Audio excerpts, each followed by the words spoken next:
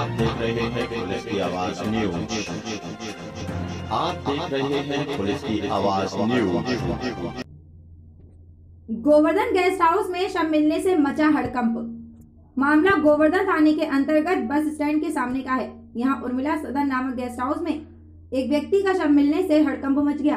प्राप्त जानकारी के अनुसार गाँव तारसी, कटूमर, राजस्थान निवासी प्रेमवती पत्नी रामप्रसाद ने गेस्ट हाउस में रूम लिया था। वहीं सुबह चाय की कहकर गेस्ट हाउस संचालक से मेन गेट का दरवाज़ा खुलवाकर महिला गायब हो गई।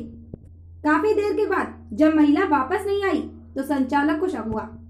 उसने अपने गेस्ट हाउस के रूम को देखा, जिसमें वह व्यक्ति और महिला रुके हुए थे। वही व्यक्ति का शव बेड पर मिला, जिसकी सूचना गेस्ट हाउस संचालक ने पुलिस को दी। मौके पर पहुंचकर पुलिस ने महिला के बारे में जानकारी जुटाना शुरू कर दिया।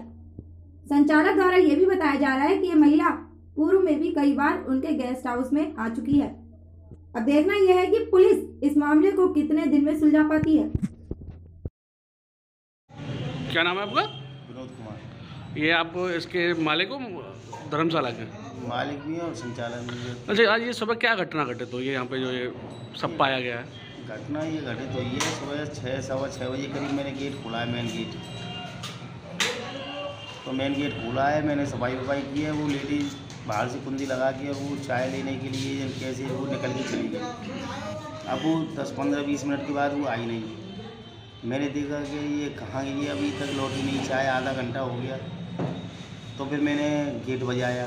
गेट की कुंदी खोल के देखा तो वो सब मेरे कंडीशन में पड़ा। कहाँ के रहने वाले थे कुछ? ये तसई कठुमर के पास। तो कितने दिन से आपके धर्मशाला में आ रहे थे? ये कोई साल पहले से ही आपके यहाँ थे?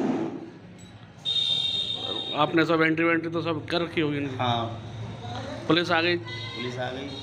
सबको लिया ही सील करके। सबको पोस्टमार्टम के लिए ले गई हाँ।